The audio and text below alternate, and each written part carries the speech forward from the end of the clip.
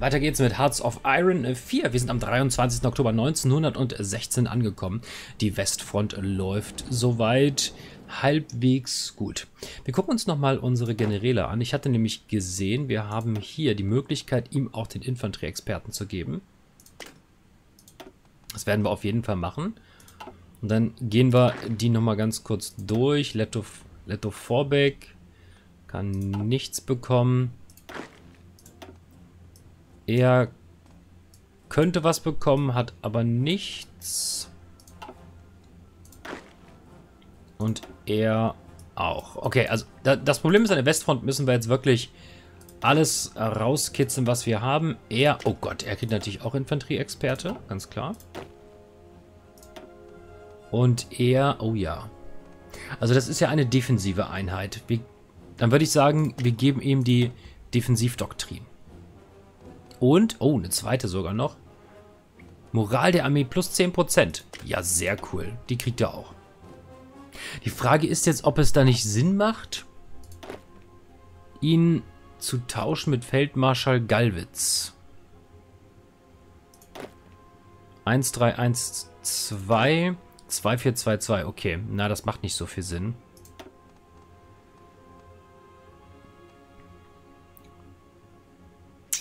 Schade. Okay, na dann müssen wir wohl auf den Stufenaufstieg warten. Schade, schade. Na gut, kein Problem. Wir gucken nochmal an der Ostfront, ob da was möglich ist. Auch hier, oh ja. Moral der Armee plus 10%, das ist, glaube ich, an der Ostfront auch wichtig. Denn ich glaube, dass die Russen immer noch nennenswerte Armeen haben. Der Herr Ludendorff. So. Bewegungsbonus zu Land. Das ist, glaube ich, in Russland wichtiger. Jetzt gucken wir bei ihm nochmal. General von Hutja. Oder von Hut Hutter. Auch er kriegt den Bewegungsbonus. Ah, okay. Da fehlen uns die Kommandopunkte. Alles klar. Gut. Dann machen wir weiter. Bin echt gespannt, wie dieser Krieg hier ausgeht.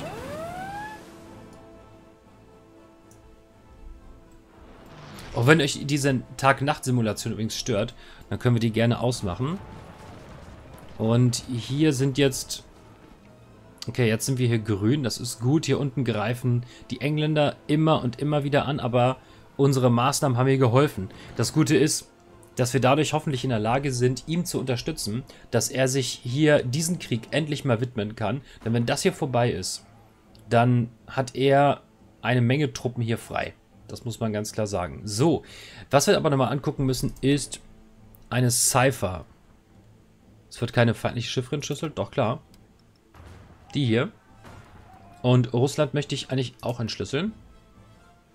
Genau. Und dann werden wir auch die maschinengestützte Entschlüsselung der nächsten Stufe entwickeln. Gut. Wobei das ist ein bisschen jetzt, äh, ja, also das ist tatsächlich die Nutzung einer etwas ahistorischen Möglichkeit. Ich weiß nicht, ob man das in den Mods verändern kann, aber diese technologische Möglichkeit der maschinengestützten Entschlüsselung war tatsächlich erst später möglich. Also, wenn überhaupt, müssten, hätten wir tatsächlich rollenspielerisch jetzt hier Schluss machen müssen. Das hier zu äh, benutzen im Jahre 1914 ist jetzt tatsächlich ahistorisch. Das muss man, das muss man ganz klar sagen. Sieben U-Boote. Ja, sehr gut. Wir vernichten ihre U-Boote, das ist gut. Das ist sehr gut. Gut für uns. So, jetzt haben wir 68 Punkte. Ich würde tatsächlich mal schauen bei den Kriegsanleihen. Übrigens, ich habe für uns mal auf Deutsch umgestellt. Damit wir mal sehen können, wie gut die Mod das schon unterstützt. Das finde ich auch immer nicht schlecht. Aber ich würde gerne mal hier gucken. Landbeschlagnahmen für die Industrie. Hier unten sehen wir es zum Beispiel. Uh, Germany Offensive. Wir sehen, was es kann, aber wir sehen halt keine Beschreibung. Das können wir nicht machen. Ich werde überlegen, ob wir das hier machen. Aber damit kriegen wir nur in Oberschlesien einen einzigen Bauplatz.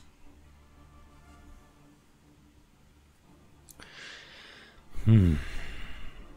Fabriken für Konsumgüter minus 5%. Wir machen das. Wir machen das. Ich glaube, das ist jetzt im Moment erstmal wichtiger, dass wir unsere Produktion hier ans Laufen bekommen. Okay, dann gehen wir mal auf F1. Und F1, das sind die hier unten, falls ihr es nicht wisst. Und die Front hat... Ah, sie hält noch. Noch sieht es gut aus. Eine gute Verschanzung. Sehr schön. Das sieht echt gut aus. Hier vorne können wir die Landung der Briten auch verhindern. Das ist auch sehr gut. Hier sehen weitere Angriffe im Moment auch positiv aus. Das ist auch sehr schön. Okay, das ist jetzt eine der Sachen. Ähm, die Sachen sind noch nicht übersetzt. Hier ist offensichtlich irgendjemand aus Österreich gestorben. Okay. So, die Pioniere sind fertig. Dann ist die Frage, ob wir hier jetzt weitermachen. Würde ich erstmal nicht sagen. Fernmelde Company könnte man entwickeln, brauchen wir aber nicht im Moment. Da reicht das, der Einser aus. Wie viel hat der? 1100 Tage. Okay, das ist zu weit. Dann würde ich tatsächlich das hier entwickeln. Verteidigung und Durchbruch plus 2%. Ich glaube, das bringt uns momentan am meisten. Alles klar. So, da läuft's gut. Wir gucken an die Ostfront. Oh, Heidewitzka. Wir stehen in Smolensk. Wie geil ist das denn? Sehr cool. Du brauchst eindeutig Neubefehle. Angriffslinie, ganz klar, Moskau. Mittig durchstoßen. Und bitte. Sehr, sehr, sehr cool. Kann es sein, dass ich vergessen habe, die Division hier zu assignen? Wir können das nochmal neu machen. Moment. Na, ich will schon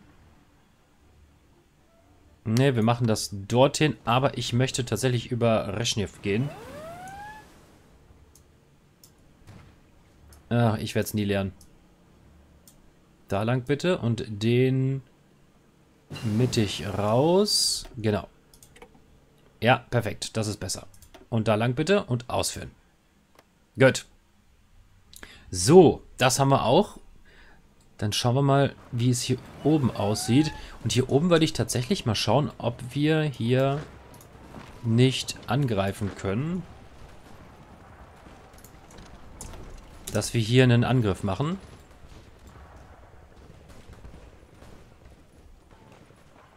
Um die hier auch endgültig zu beseitigen. Dass wir diesen Frontbogen hier schließen.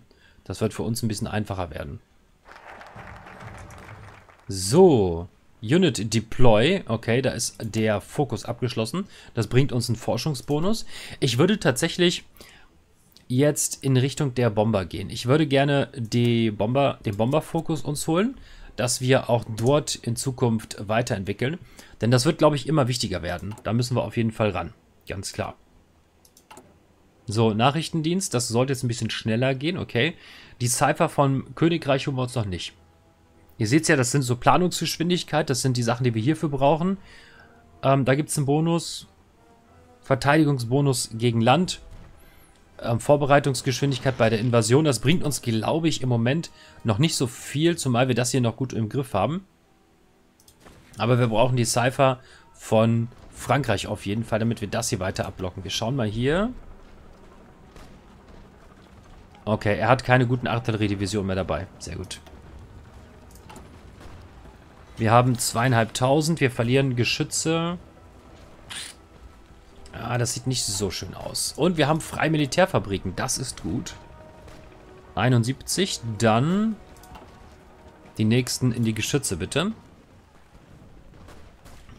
Und dann gucken wir mal, dass wir da auch äh, schneller produzieren. Denn da müssen wir jetzt auch ran. Oh nein! Ah, Mist. Jetzt sind sie echt hier unten gelandet weil unsere Truppen versagt haben. Da haben sie uns jetzt ausgetrickst. Das ist, ah, ärgerlich. Das ist echt ärgerlich. Da haben sie uns tatsächlich ausgetrickst, weil sie sich hier mit den Engländern drauf konzentriert hatten und hier ist dann jetzt einfach der Russe gelandet. Okay, aber das ist kein Problem. Er hat keine Versorgung, das ist schnell erledigt. Gut. Sehr schön. Wie sieht es hier aus? Wir stehen vor Nice. Ja! Und ich hoffe, dass das Thema damit dann erledigt ist. Wir schauen mal. Immer noch Yes, die Bunker. Das ist einer der wichtigsten Erfindungen, die wir jetzt brauchen. Ganz klar. Aber wir bleiben erstmal, wir bleiben erstmal immer Pause. Der hat immer noch... Das ist ja der Wahnsinn. Die kontrollieren immer noch 52% der Siegpunkte in Serbien. Krass. Also das hätte ich jetzt nicht erwartet, wenn ich ehrlich bin. So, wir machen auf jeden Fall hier weiter. Und ähm, Bauplätze plus 10% Fabrikleistung, das ist wichtig. Uns gehen nämlich langsam die Bauplätze aus. So. Übrigens, ich habe fälschlicherweise behauptet, dass die Technologiebäume die gleichen sind bei anderen Mods. Das sind sie tatsächlich nicht. Ich habe gestern nochmal die Endsieg-Mod gespielt und da ist der Technologiebaum tatsächlich anders. Das äh, wusste ich tatsächlich auch nicht. Nur nochmal als Info für euch. Also das war Quatsch, was ich da erzählt hatte. Und hier sehen wir es übrigens. Hier kommt jetzt der Brite. Ich weiß nicht, ob der KI das abstimmt. Da bin ich mir nicht ganz sicher. Ich glaube tatsächlich nicht, aber äh, naja. Es war ein kluger Schachzug, muss man, muss man ihn lassen. Das war ganz gut. Okay. Dann geht's weiter.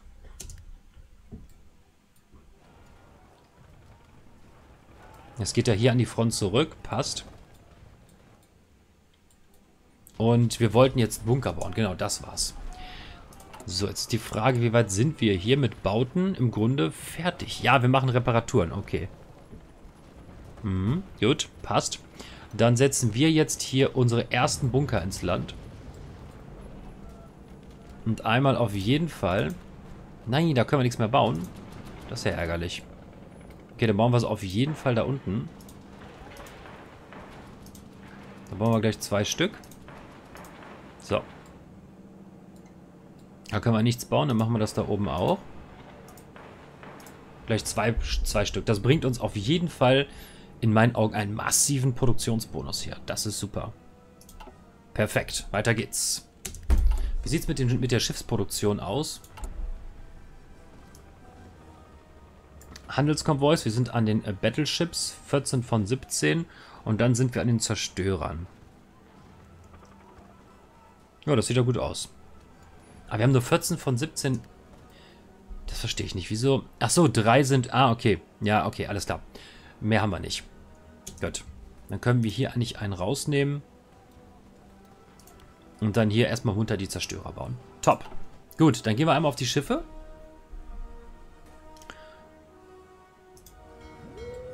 Und wir haben vier neue. Das sind jetzt leichte Kreuzer der Pillau-Klasse. Die gucken wir uns mal kurz an.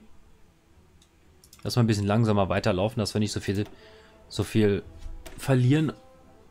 Nicht, dass uns irgendwo an der Front was verloren geht. An Infos. Ja, ist jetzt kein besonders tolles Schiff.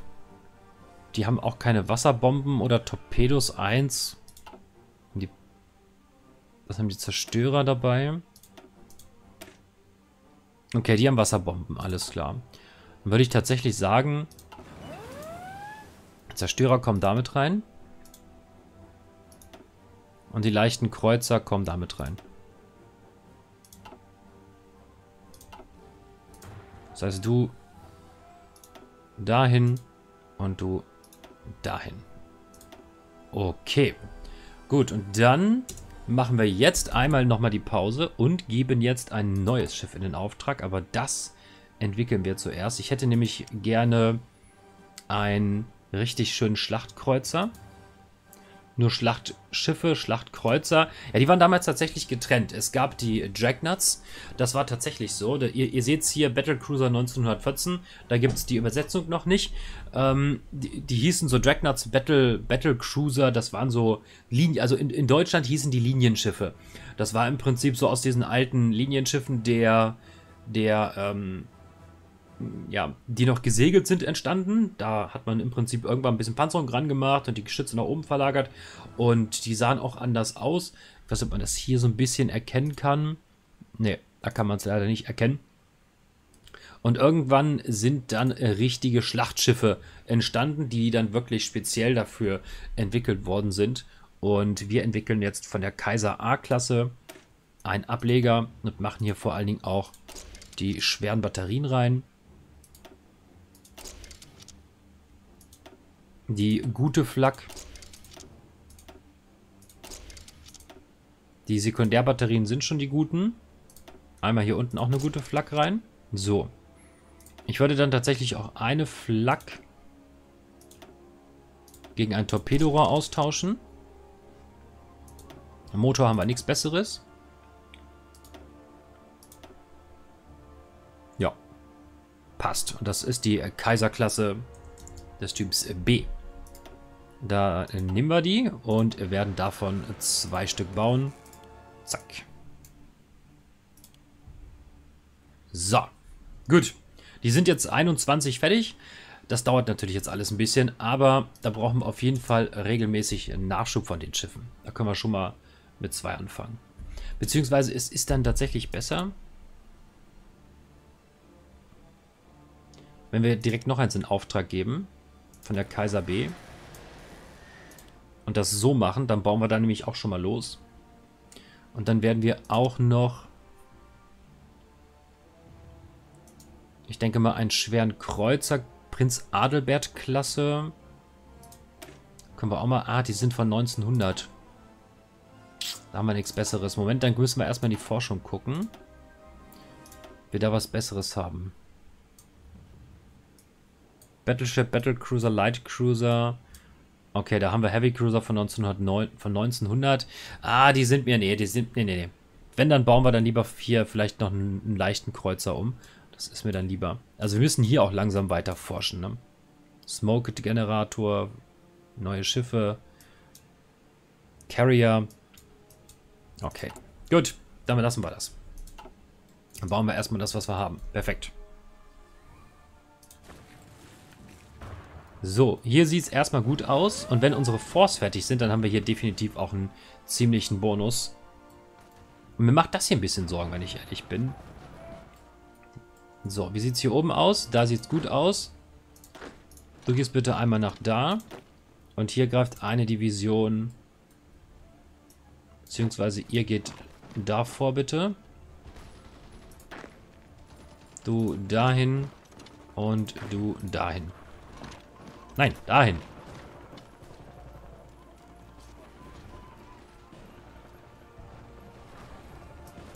Und du versuchst die hier rauszulocken. Gucken wir, ob das auch klappt.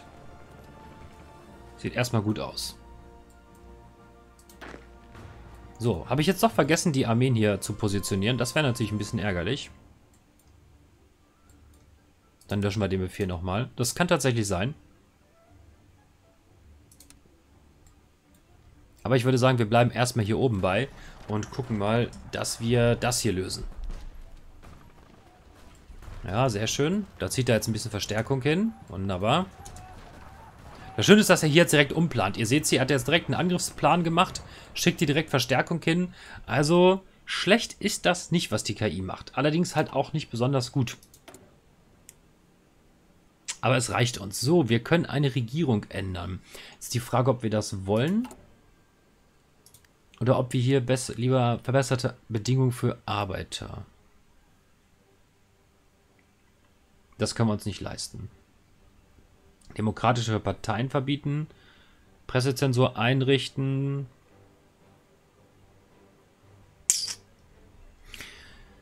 Was bringt denn Kriegspropaganda? Wöchentliche Kriegsunterstützung, Stabilität. Ich bräuchte eher Stabilität.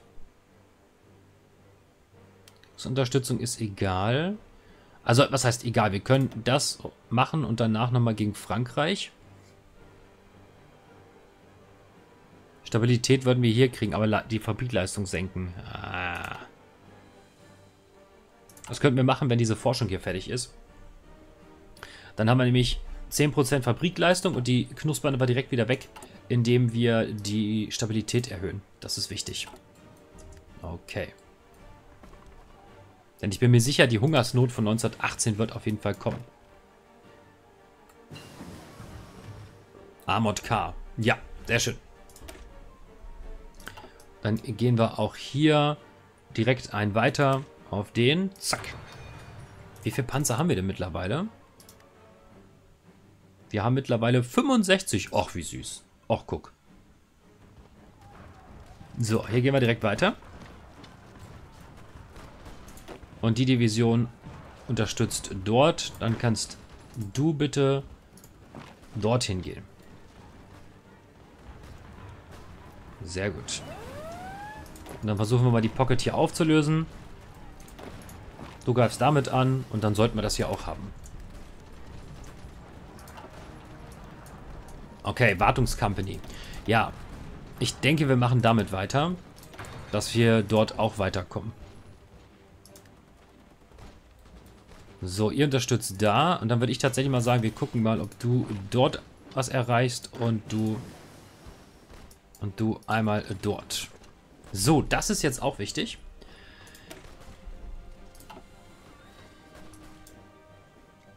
Motorisierter Rettungswagen. Ja, das erforscht mal bitte auch gleich.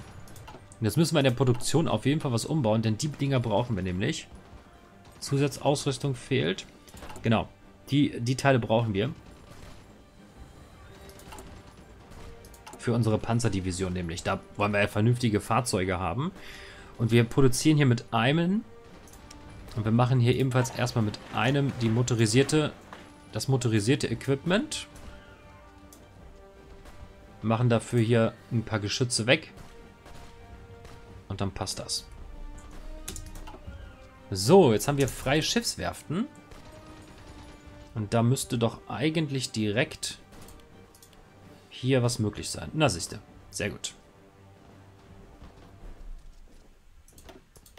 Da haben wir die Kaiser C. Da hat man schon was gebaut. 1917, okay, passt. So lassen wir das.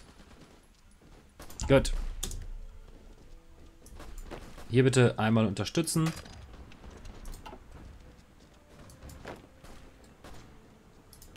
Und dann haben wir das Thema eigentlich auch. Du kannst da auch unterstützen. Sehr gut. Den Frontbogen haben wir aufgelöst. Nein, haben wir nicht. Dahin. Und du dahin. Was ist denn das hier für einer? Portugal. Ach, du ahnst es nicht. Ernsthaft, die sind in unserem Rücken gelandet? Ich fasse es nicht, ey. Also das ist ja dreist. Also das ist ja echt dreist. okay, so, wie sieht es hier unten aus? Na, erstmal nicht schlecht. Hier sind wir immer noch beim Sturm auf Nies. Ich hoffe, dass wir echt, also das dauert mir so, das dauert mir echt ein bisschen zu lang. Dafür, dass wir 17 sind, dauert das echt ganz schön lange. Na gut, so, Bomberfokus. Sehr gut. Dann fangen wir demnächst an mit dem Bombern. Und dann holen wir uns jetzt mal Equipment-Bonus. Das bringt uns auch gleichzeitig Armeeerfahrung. Und jetzt sollten wir auch hier, hoffentlich, wir stoppen das alles mal und machen einen neuen funktionierenden Plan mit allen bitte. 54 gewählt. Einmal nach Moskau. 54 Divisionen. So, dann lassen wir die nochmal herumfahren. Und dann kann er da angreifen. So, sehr schön. Das haben wir auch. Und dann sind wir jetzt auf dem Weg nach Moskau. Ich bin mal gespannt, wie es dann aussieht. Und wir stehen, oh Leute, wir stehen vor Kiew. Aber da laufen die Gegenoperationen. Wahnsinn, unsere Freunde aus Österreich-Ungarn sind gut mit dabei. Wir stehen hier vor Kiew, vor Hommel, Bryansk. Ist auch in greifbarer Reichweite, sehr geil. Und Smolensk und Riga ist bereits gefallen. Pskov ist auch schon gefallen und wir sind auf dem Weg nach Petrograd. So, hier oben müsste übrigens auch momentan der, das ist ja die Hauptstadt und nicht Moskau.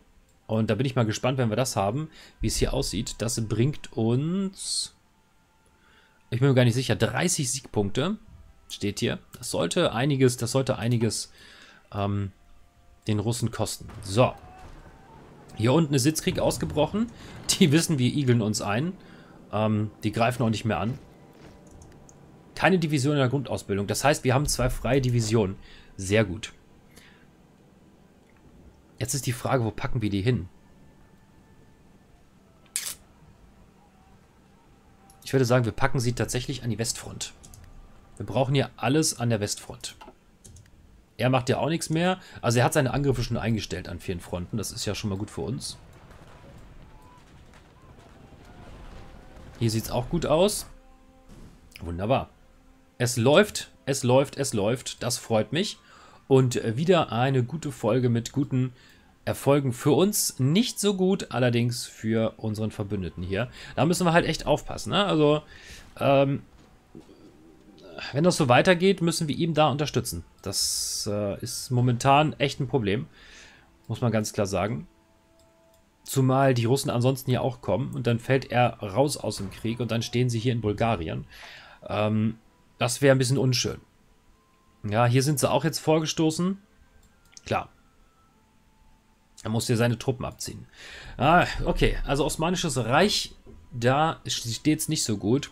Da müssen wir mal überlegen, wenn die Russen hier ähm, hoffentlich erledigt sind und die Osmanen sich hier noch halten, dass wir hier unten dann in den Krieg mit eingreifen. In dem Sinne. Macht's gut, bis morgen, euer Strategie. Ciao, ciao.